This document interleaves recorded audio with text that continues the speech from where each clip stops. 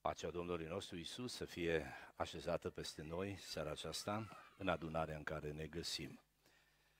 Îi mulțumesc lui Dumnezeu că m-a ajutat să ajung cu bine în mijlocul dumneavoastră. Uh, mulțumesc conducerii bisericii pentru invitația făcută și pentru încrederea arătată și fie ca binecuvântarea lui Dumnezeu să fie peste noi și peste familiile noastre. Vom citi cuvântul Domnului în seara aceasta din uh, Cartea Apocalipsa, capitolul 6. Vom citi cuvântul începând cu versetul 9 până la versetul 11. Haidem împreună să stăm ridicați pentru a asculta cuvântul. Când a rupt mielul pe cetea a cincea, am văzut sub altar sufletele celor ce fuseseră înjunghiați, din pricina cuvântului lui Dumnezeu și din pricina mărturisirii pe care o ținuseră. Ei strigau cu glas tare și ziceau, Până când, stăpâne, tu care ești sfânt și adevărat, zăbovești să judeci și să răzbuni sângele nostru asupra locuitorilor pământului? Fiecăruia din ei i s-a dat o haină albă și li s-a spus să se mai odihnească puțină vreme, până se va împlini numărul tovarășilor lor de slujbă și a fraților lor care aveau să fie omorâți ca și ei. Amin. Vă invit să vă reașezați.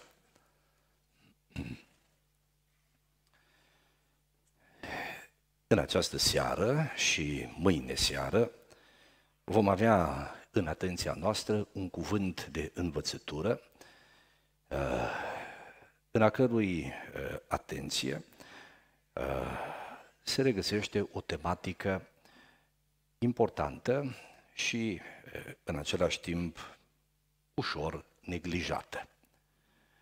Vom vorbi despre lumea de dincolo și, în mod deosebit, sub genericul adevărul despre lumea de dincolo. După cum cunoaștem din Scriptură, Dumnezeu a creat tot ceea ce există, lumea, creația făcută de Dumnezeu, este împărțită în două părți. O parte a ei este legată de lumea materială în care ne-am născut și în care trăim, și o altă dimensiune a ei este dimensiunea cerească, și anumita lume de dincolo. Ce putem spune după Scriptură despre această lume? Care este drumul pe care trebuie sau, sau pe care Dumnezeu a rânduit să îl urmăm în viața, în existența noastră. Cuvântul lui Dumnezeu ne arată că în existența unui om sunt câteva etape foarte, foarte importante.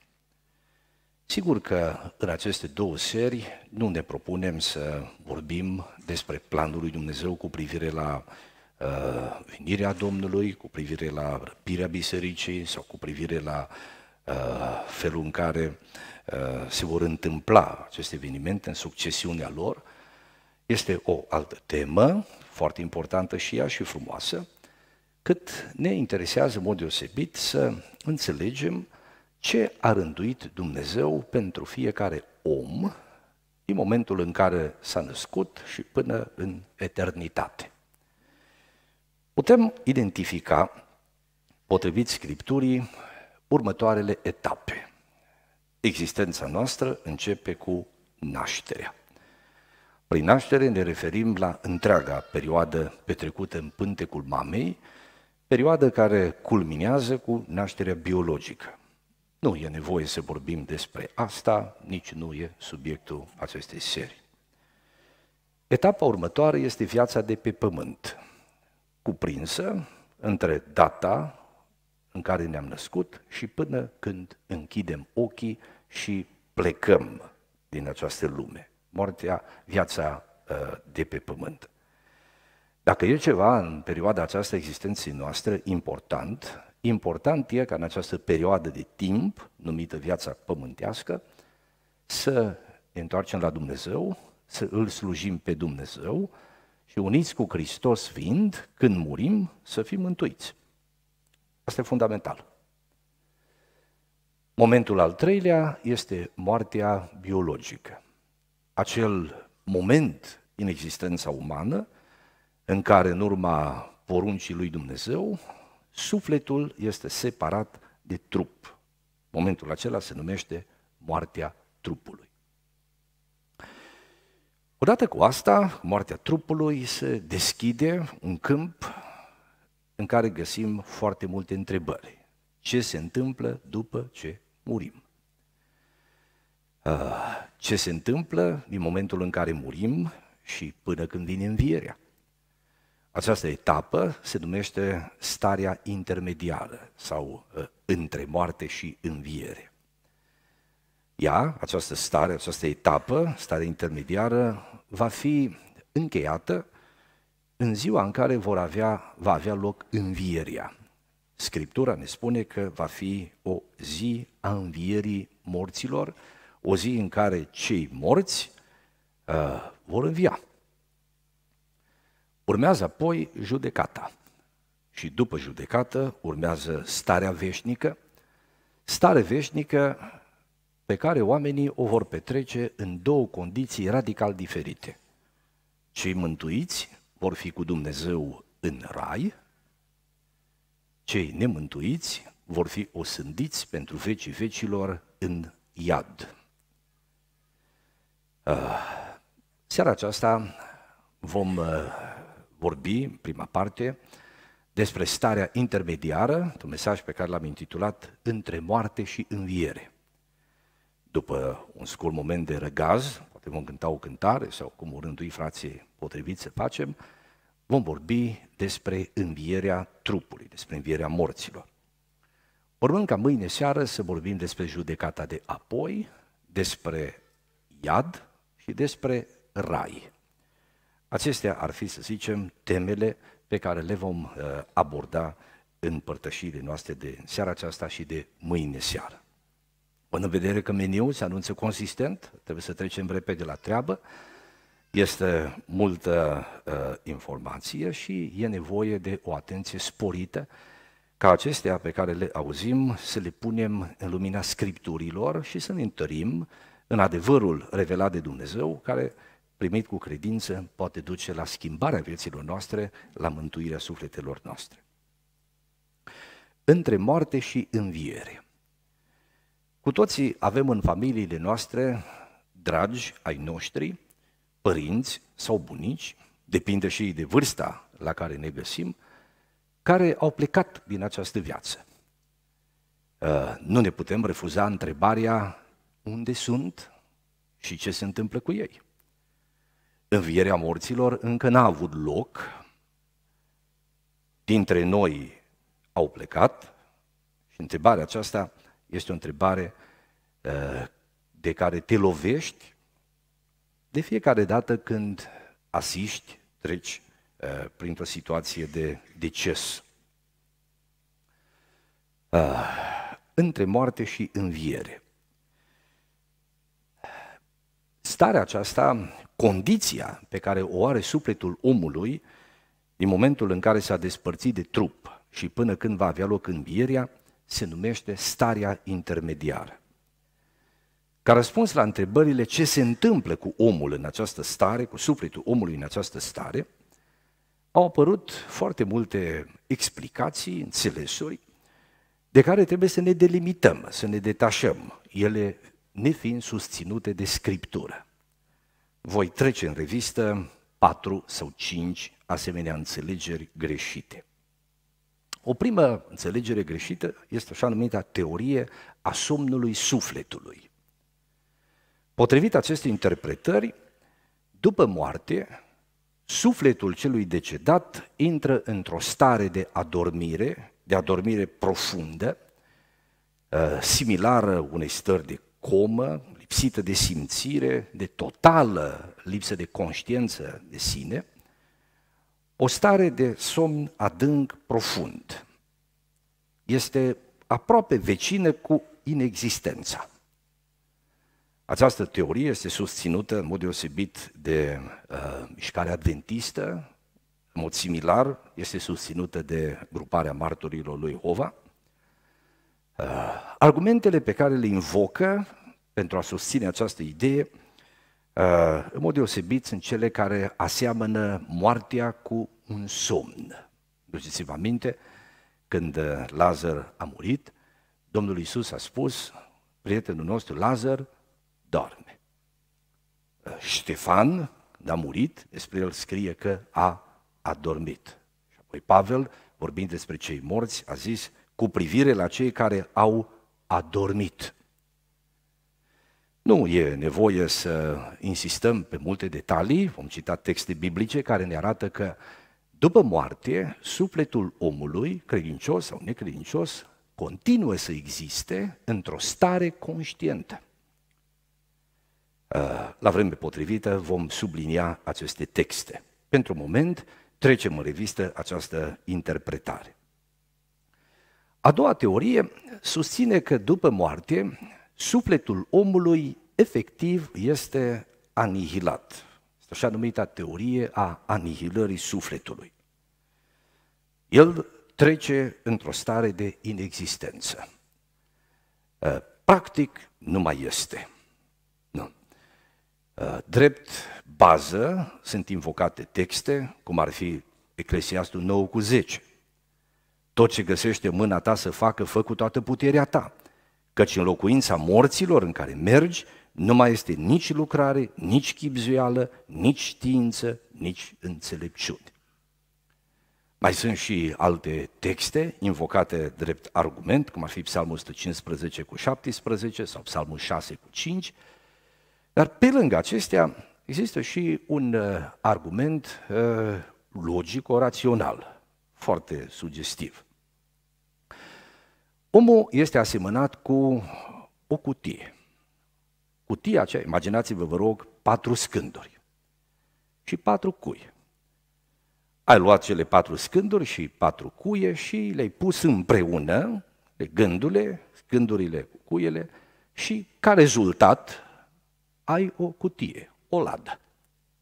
Deci, scânduri plus cuie dă o a treia entitate numită ladă, cutie. Acum scoatem cuiele, le punem unde au fost înainte, scândurile unde au fost înainte și întrebarea care se pune este unde e cutia? Nu mai e, dispărut. Scândurile, în această comparație, se dorește să reprezinte corpul, suflarea de viață de la Dumnezeu cuiele și împreunarea acestora sufletul. Și dacă s-a luat suflarea, s-a dus țărâna în țărână, ce să mai ales de cutie? Doi mai nicăieri. Eu am zis, știi unde e cutia? În cuiele sucite și în găurile din scânduri. Dacă chiar vrei să știi unde e cutia. Da. Dar nu putem să argumentăm despre realități spirituale despre care Scriptura vorbește clar cu comparații de acest tip. Argumentele Scripturii, după cum vom vedea în continuare, sunt clare. Sufletul omului există în stare conștientă după moarte. A treia teorie este așa numita teorie a purgatoriului, susținută de Biserica Catolică. În viziunea catolicismului, după moarte, nu există lumea de dincolo doar două locuri, cum uh, în creștinismul pentecostal, evanghelic, învățăm. Un loc pentru cei drepți și un loc pentru cei nedrepți, rai și iad. Și cinci locuri. Primul loc se numește rai, este locul în care se duc cei care sunt desăvârșiți, cei cu totul buni. Al doilea loc este iadul, în care se duc cei cu totul răi. Și apoi un loc în care se duc cei care sunt nici cu totul buni, nici cu totul răi. Așa se gândește, chiar dacă acum eu explic, exprim lucrurile acestea cum le pot.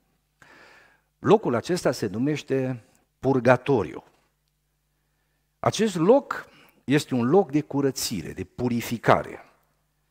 Al patrulea loc se numește Limbus Patrum, e locul în care s-au dus sfinții care au murit în Vechiul Testament, și al cincilea, Limbus Infantum, locul în care se duc copiii care mor uh, nebotezați. Asta învață catolicismul. Legat de purgatoriu, timpul petrecut acolo, susține catolicismul, poate să fie scurtat în funcție de rugăciunile pe care le aduce biserica, slujbele care se fac, și aici este rațiunea celor dezlegări care se fac, ceremonii, slujbe care se fac, uh, faptele bune de milostenie făcută de cei rămași în viață, de familie, în numele celui decedat. Așa se înțelege, așa se gândește. E sigur că baza biblică a acestei învățături uh, este inexistentă. Uh, învățătura aceasta se bazează mai degrabă pe o tradiție uh, care are rădăcini în gândire antică, care s-a format în cursul vremii și poate o șubredă susținere într-o carte apocrifă numită 2 Macabei, capitolul 12, dar nu intrăm în detaliile acestea. A patra teorie, uh, un pic mai familiară uh, nouă românilor, uh, este teoria vămilor văzduhului. Această concepție aparține Bisericii Ortodoxe, care ne vorbește despre 40 de zile după moarte, în care 40 de zile sufletul celui decedat își caută locul.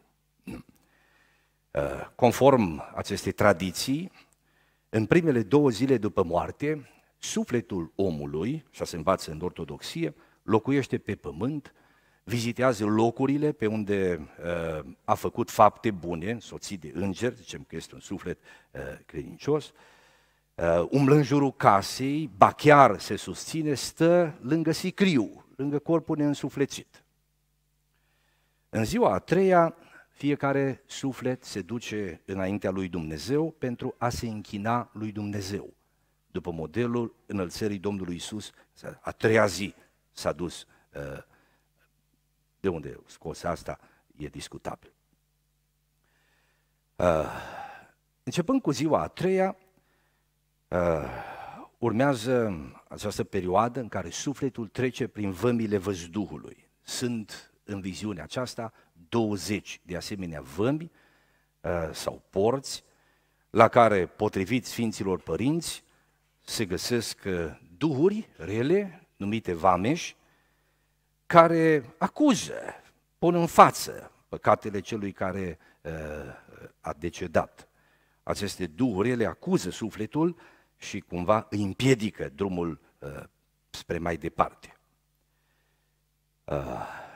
În următoarele șase zile, în ziua opta se întâmplă ceva, în ziua opta sufletul din nou se duce înaintea lui Dumnezeu și începând cu ziua uh, următoare, pentru următoarele șase zile, conform acestei concepții, sufletul omului este purtat prin rai, prin locuințele sfinților, ca să vadă frumusețile raiului, iar după ce se încheie perioada aceasta, suntem acum în ziua a noua, Uh, este așa de meticulos și atent uh, prezentată această teorie, încât știi cu exactitate ce se întâmplă în fiecare ceas.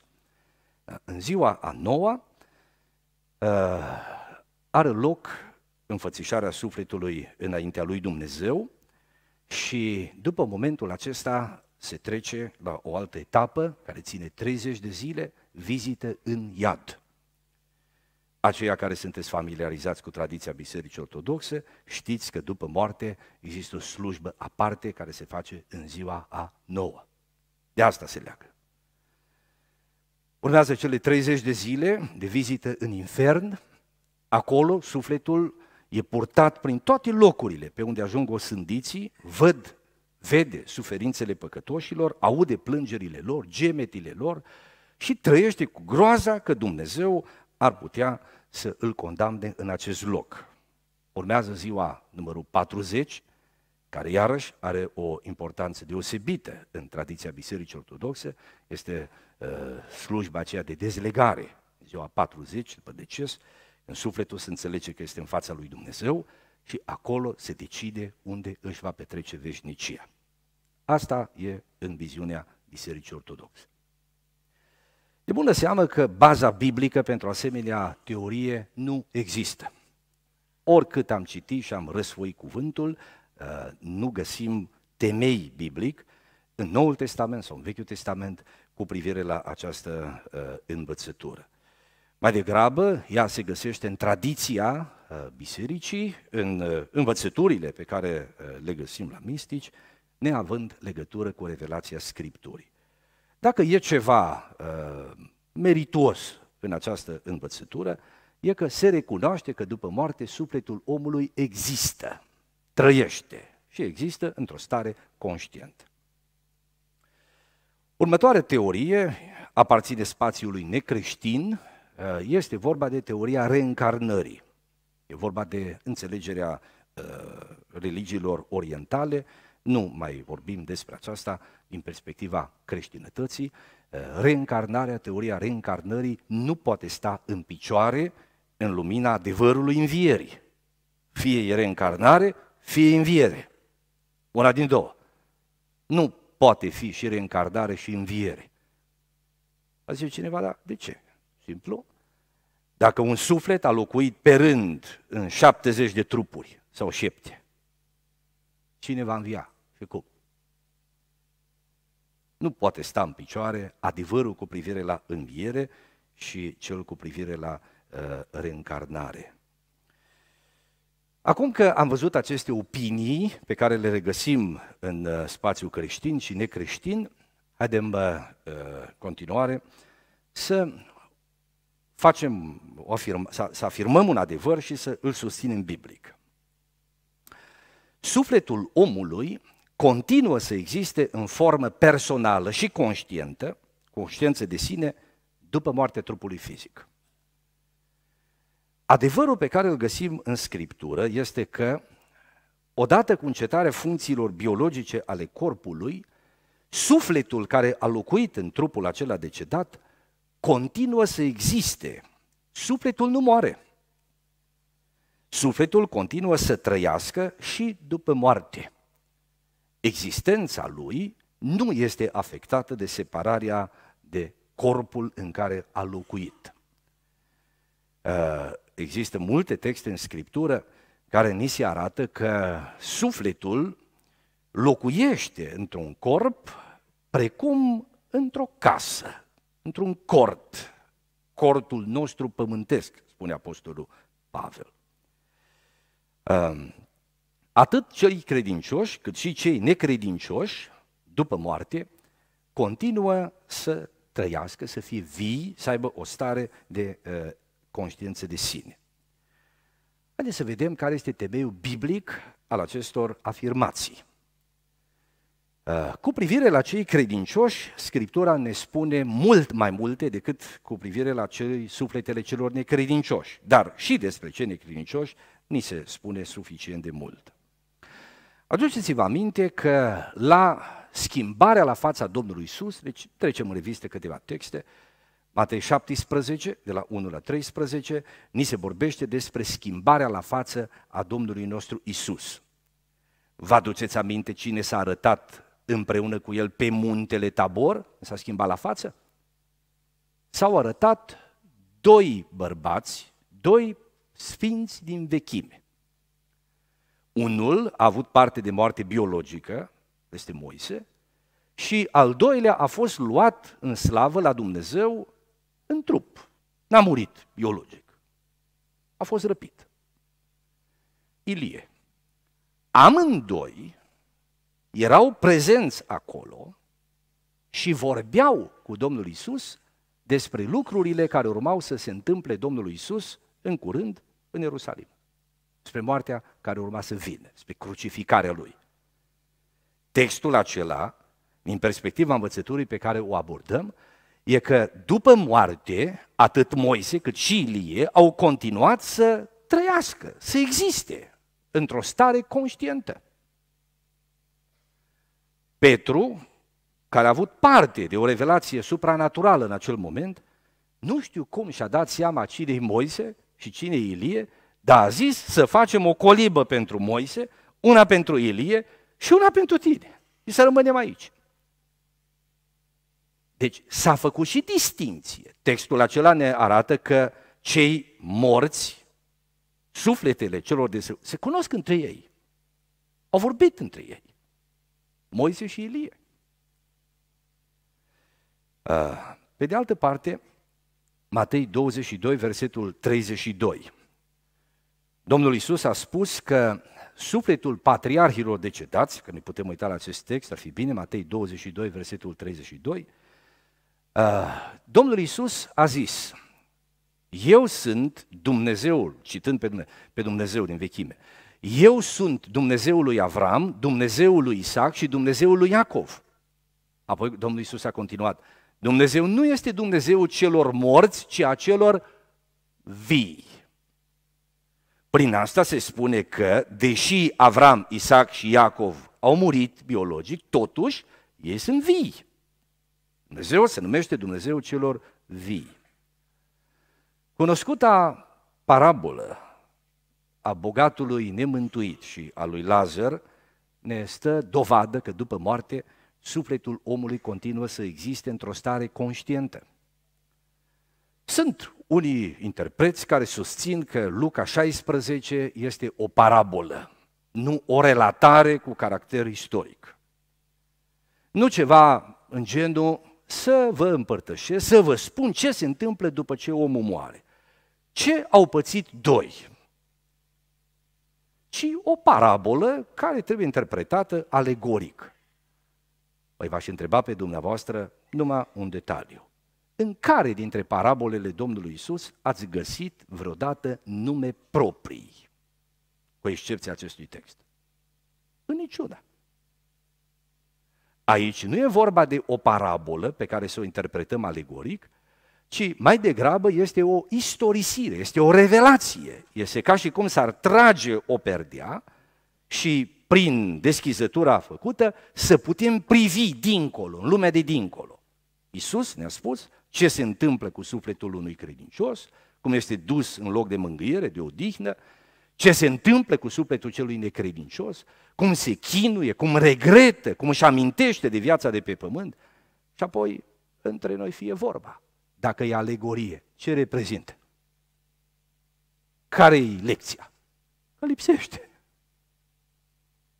Nu ne rămâne decât să acceptăm că este o istorisire care reflectă condiția sufletelor mântuite și nemântuite după ce părăsesc trupul, după ce mor biologic. Apoi, Luca 23, versetul 43. Domnul Iisus a spus tâlharului mântuit, adevărat îți spun că azi vei fi cu mine în rai. Ștefan, când moare, se roagă zicând, primește, Doamne, Duhul meu. Apostolul Pavel vorbește despre nădejdea lui, 2 Corinteni 5 cu versetul 8. Da, suntem plini de încredere și ne place mult mai mult să părăsim trupul acesta ca să fim unde? În somn fără simțire, în anihilare. Nu a zis așa, a zis ca să fim acasă la Domnul. Ca în Filipeni 1, 21, 23, tot Pavel se spune, pentru mine a trăi este Hristos și a muri este un câștig. Dar dacă trebuie să mai trăiesc în trup, face să trăiesc. Și nu știu ce trebuie să aleg. Sunt strâns din două părți. Aș dori să mă mut și să fiu împreună cu Hristos. Deci după ce cel credincios moare, unde se duce? În neființă? Să nu folosiți expresia asta, a trecut în neființă. Asta numai atei zic. A trecut la Domnul. A trecut la Domnul. Uh, Pavel spune ca să fiu împreună cu Hristos, căci ar fi cu mult mai bine. În cartea Apocalipsa, cuvântul Domnului, în capitolul 6, versetul 9 la 11, ne pune în față pasaj pe care l-am citit o situație, o descriere superbă. Cuvântul Domnului spune așa, am văzut sub altar sufletele celor ce fuseseră înjunghiați din pricina cuvântului lui Dumnezeu și din pricina mărturisirii pe care o ținuseră. Deci am văzut ce? Sufletele. Erau acolo. Erau. Cu întrebarea este în ce condiție.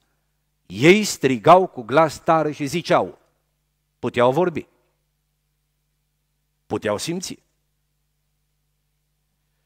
Până când, stăpâne, tu care e sfânt și adevărat zăbove să jude și să răzbun sângele nostru asupra locuitorilor pământului? Își aduceau aminte de cei pe pământ. Da? Știau ce e pe pământ. Fiecăruia i s-a dat o haină albă și li s-a spus să mai, să mai odihnească puțină vreme, până se va împlini numărul tovarășilor lor de slujbă și a fraților lor, auziți, că aici e cheia, care aveau să fie omorâți ca și ei.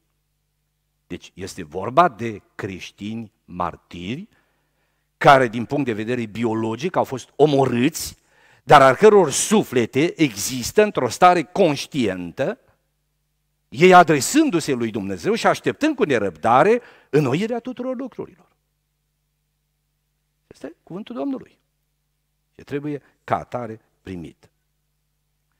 Găsim și alte texte, uh, nu e vreme să le aprofundăm pe toate. Apocalipsa 20 cu 4 este unul dintre ele, Evrei 12, 22 la 23 este un altul. Cu privire la cei necredincioși, așa cum am spus, referințele Scripturii sunt mai puține, dar nu lipsesc. În privința aceasta, Matei 10 cu 28 aduce în fața noastră o revelație. Domnul Isus a spus așa, nu vă temeți de cei ce ucid trupul, dar care nu pot ucide sufletul, ci temeți-vă mai degrabă de cel ce poate să piardă, uitați, și sufletul și trupul în ghen. Deci nu poate fi ucis, nu zice temeți-vă de cel care poate să facă să dispară sufletul, ci să-l piardă, adică să-l pedepsească. Despre asta este vorba. În acest spirit avem Apocalipsa, capitolul 20, cu versetul 12. Cuvântul Domnului în locul acesta spune, și am văzut pe morți mari și mici, stând în picioare înaintea scaunului de domnie, deci erau într-o stare conștientă, se numesc morți din pricina faptului că nu-L cunosc pe Domnul, nu L-au cunoscut pe Domnul, ei n-au viață veșnică, da? nu L-au pe Hristos, de aia se numesc morți, dar vă rog să observați că morți nu înseamnă în neființă, în inexistență. Morți în sensul că se găsesc sub puterea morții a doua, a judecății, nu că sunt lipsiți de conștiință. Stau în picioare, stând în picioare înaintea scaunului de domnie. Niște cărți au fost deschise. A fost deschisă o altă carte, care este cartea vieții. Și morți au fost judecați după faptele lor, după cele ce erau scrise în cărțile acelea. Deci cuvântul Domnului în privința aceasta ne arată că și cei necredincioși continuă sufletele lor să existe în mod conștient. Oare nu în starea aceasta este bogatul nemântuit? Dacă să cugetăm la condiția lui în câteva cuvinte. În primul rând, e conștient de locul în care se află. Grozav sunt chinuit în văpaia aceasta. E conștient că a pierdut șansa mântuirii. L-a văzut pe Lazar. Cere, e conștient că nu se mai poate schimba nimic radical în existența sa, de aia a cerut puțin, un strop de apă. A reținut că nici atâta nu primește și a adus aminte că are acasă cinci frați și că frații lui sunt la fel de pocăiți ca el. Să se ducă Lazar în casa fraților mei și să le adeverească aceste lucruri ca să nu vină și ei în acest loc de chin. Vă rog să observați conștiința de sine, interrelația, comunicarea, deci vorbim de o realitate existentă. Acum, stimați frați și stimate surori, eu cred că trebuie să proclamăm cu toată convingerea autoritatea Scripturii și să mărturisim că Scriptura este cuvânt inspirat de Dumnezeu, vrednic de crezare, cu autoritate, fără greșeală, uh, mărturisim inspirația de la Dumnezeu a Scripturii și ineranța Scripturilor. Astea sunt adevăruri. Trăim vremuri în care oamenii cam strâmbă din nas când găsesc în Biblie, în Biblie idei care le contrazic părerile. O mică paranteză. Cineva a zis că botezul trebuie să fie făcut în numele Domnului Isus și în numele, nu în numele Sfintei Trăimi. Am spus, da, uite cum scrie Matei 28. Explicația a fost următoarea. Asta a fost adăugată de creștini mai târziu. De aia care au mărturisit botezul în numele treimii. Dar la început nu a fost așa. Ah, frumos. Adică mai bine rupe foaia decât să spui că îi mână de om acolo. Deci oamenii neagă autoritatea Scripturii atunci când ideile pe care le susțin sunt contrazise de Scriptură. Să ne ferească Dumnezeu de așa ceva. Să ne ferească Dumnezeu. Uh, am arătat că sufletul omului există în stare conștientă după moarte și acum, în partea finală a cuvântului din uh, seara aceasta, primă, uh, prim seminar, primă sesiune, să surprindem câteva uh, adevăruri legate de starea celor uh, mântuiți și nemântuiți în perioada aceasta dintre moarte și înviere. Ce putem găsi în Scriptură cu privire la uh, aceste realități? Mai multe ni se vorbește despre speranța celor credincioși. Aici cuvântul Domnului spune că sufletele celor credincioși, când cel credincios moare, sufletul său este condus de îngeri în împărăția lui Dumnezeu. Luca 16 cu 22. Când Lazar a murit, îngerii au venit și l-au dus în sânul lui Avram. A fost dus de, de îngeri în sânul lui Avram. Apoi, Cuvântul Domnului, Luca 23 cu 43, ne spune că cel credincios este primit de Isus în slava cerească. Adevărat, îți spun că azi vei fi cu mine în rai. Ștefan a fost și el primit în slavă și în Psalmul 73 este cântată această speranță că uh, mă vei primi în slavă, spune psalmistul. Iar în Filipeni 1, de la 12, 21 la 23, Pavel spune că aș dori să mă mut și să fiu împreună cu Hristos, căci ar fi cu mult mai bine. Deci când un credincios moare, nu e singur, îngerii vin, îi conduc sufletul în împărăția lui Dumnezeu și acolo Domnul Isus îl primește în slava cerească. Apoi, în Luca 16 cu 9, ni se spune că cel credincios este condus în corturile veșnice. Luca 16 cu 9. Eu vă zic, faceți-vă prieteni cu ajutorul bogăților nedrepte, pentru că atunci când veți muri, să vă primească în corturile veșnice. Această idee este susținută și în 2 Corinteni 5, de la 1 la 2, și de asemenea în Roman 8, cu versetul 17. Da. Cel credincios este dus în casa lui cerească. Domnul Isus a spus, mă duc să vă pregătesc un loc. Apoi, cel credincios se odihnește acasă la Domnul. Apocalipsa 14 cu 13, li s-a zis celor credincioși, sufletele acelea erau sub altar, erau în prezența lui Dumnezeu, vedeau fața lui Dumnezeu și li s-a spus să se mai odihnească puțină vreme. Ei sunt mângâiați, potrivit Apocalipsa 7 cu 10, 13 la 17. Cuvântul Domnului spune că Domnul va șterge orice lacrimă din ochii lor Durerile care au fost înainte au rămas înapoi. Ei sunt în părtășie cu alți credincioși. Așa găsim scris și în epistola către evrei, că noi ne-am apropiat de duhurile celor făcuți desăvârșiți, așa citim și în episodul acela cu schimbarea la fața Domnului nostru Isus, când Moise și cu Ilie erau împreună, așa citim că Lazar era în sânul lui Avram, toate aceste texte dați-mi voie să vă demn să le interpretăm literal.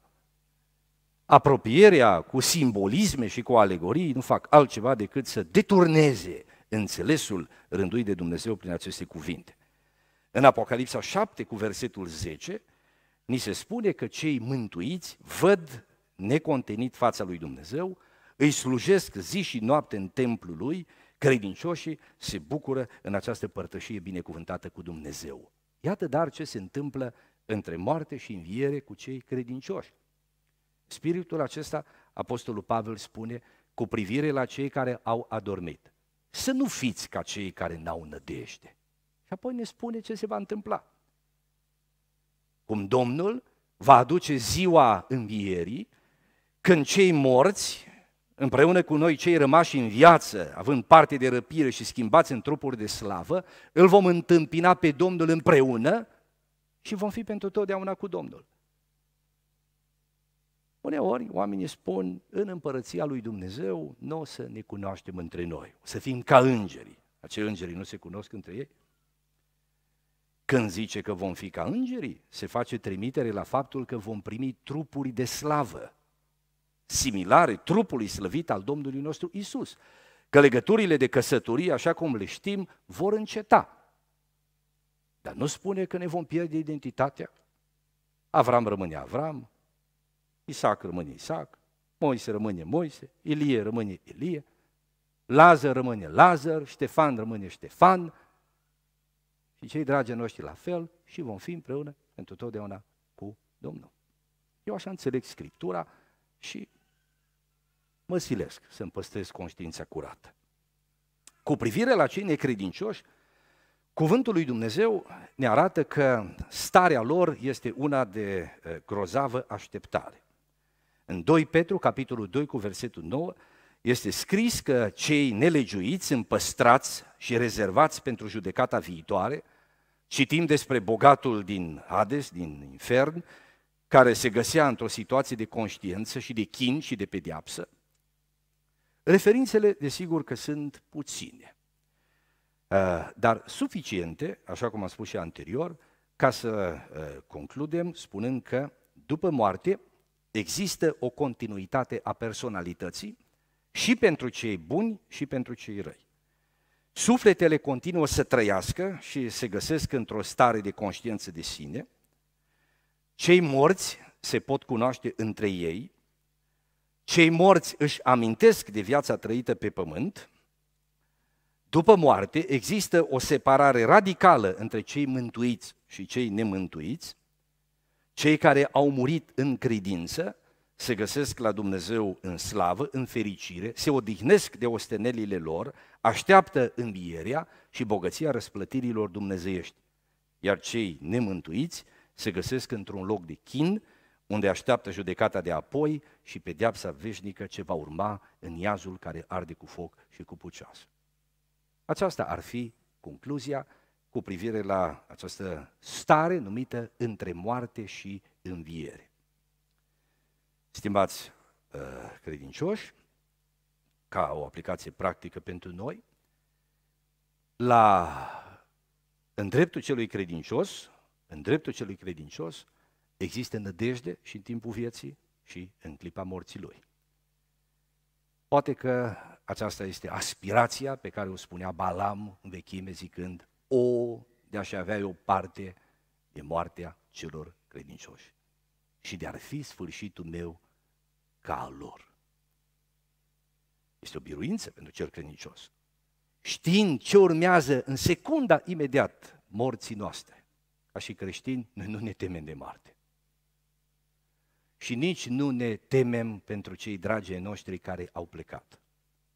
Deși purtăm în suflet uh, durerea despărțirii, uh, dorul revederii, totuși ne mângâiem știind că ei se găsesc într-un loc mai bun, în care, prin Harul lui Dumnezeu, ne vom duce și noi.